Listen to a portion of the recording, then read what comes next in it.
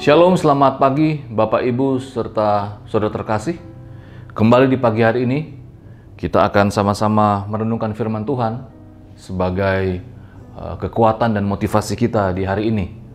Sepanjang kita menjalani perjuangan iman kita di masing-masing tugas tanggung jawab kita sebagai orang percaya.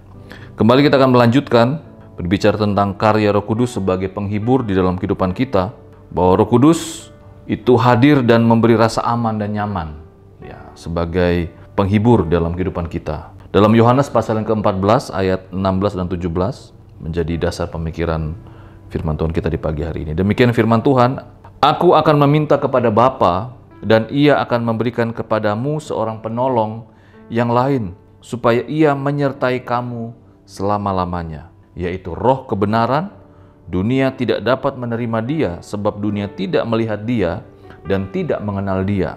Tetapi kamu mengenal dia sebab ia menyertai kamu dan akan diam di dalam kamu. Yang menarik dari pembacaan kita dalam Yohanes 14 ayat 16 dan 17 di sana dikatakan bahwa penghibur atau Roh Kudus itu akan menyertai kita selama-lamanya. Selama kita hidup di dalam dunia ini, Roh Kudus itu akan tetap tinggal di dalam hati kita. Bahkan juga di ayat yang ke-17 ditegaskan kembali oleh Tuhan Yesus bahwa Roh Kudus yang ada di dalam kehidupan kita akan menyertai kita dan akan diam di dalam kita. Jadi dua kali penegasan di sini bicara tentang penyertaannya yang sepanjang kehidupan kita, bahkan juga sekali lagi ditegaskan menyertai kita dan akan diam di dalam kehidupan kita. Sehingga dari dua ayat ini kita kembali lagi dibawa ke sebuah perenungan bahwa Roh Kudus itu hadir dan memberi kita rasa aman dan nyaman selama kita menjalani kehidupan kita sebagai orang percaya. Bapak Ibu jemaat yang terkasih, ini kembali menjadi penghiburan bagi kita sebagai orang percaya.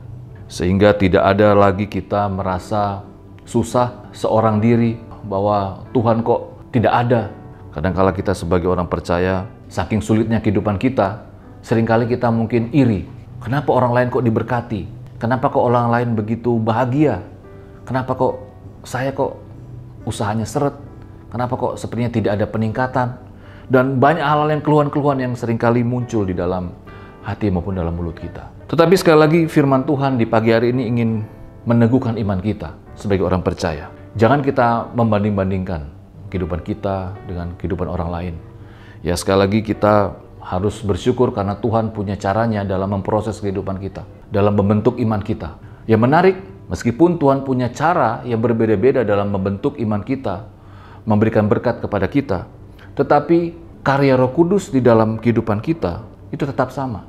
Bagaimana ada perasaan aman dan nyaman, meskipun sekali lagi doa-doa kita belum dijawab. Ada perasaan aman dan nyaman meskipun sekali lagi kita sebagai orang percaya mungkin ditekan menghadapi situasi yang sulit. Ya, artinya apa pun yang kita hadapi, apa pun yang kita alami, di dalam kehidupan ini sebagai orang percaya, jangan pernah kita mengeluh. Sekali lagi, jangan pernah kita mengeluh. Apalagi kita kecewa kepada Tuhan. Karena firman Tuhan jelas di pagi hari ini, bahwa roh kudus yaitu penghibur, itu memberikan kita rasa aman dan rasa nyaman karena dia menyertai kita di sepanjang kehidupan kita. Dia tinggal di dalam hati kita. Sehingga siapa yang dapat merenggut perasaan aman dan nyaman di dalam kehidupan kita. Tidak ada. Kiranya firman Tuhan di pagi hari ini kembali lagi dapat mengingatkan kita dan memotivasi kita untuk selalu bersyukur kepada Tuhan untuk apa pun yang kita hadapi dan alami dalam kehidupan ini. Mari kita berdoa. Tuhan terima kasih sekali lagi penghibur itu sungguh-sungguh nyata di dalam kehidupan kami. Membuat kami merasa aman dan nyaman menjalani hari-hari kami. Meskipun saat kami menjalani hari-hari kami, kami melewati semak duri, melewati batu terjal, halus gelombang hidup yang begitu rupa. Tetapi saat kami meyakini bahwa ada Roh Kudus dalam kehidupan kami, kami menjalani hari-hari kami itu dengan penuh sukacita. Terima kasih, Tuhan Yesus. Ini doa kami. Dan sekali lagi berkati untuk setiap apa yang kami kerjakan di hari ini dan juga memberkati orang-orang yang kami kasihi. Amin.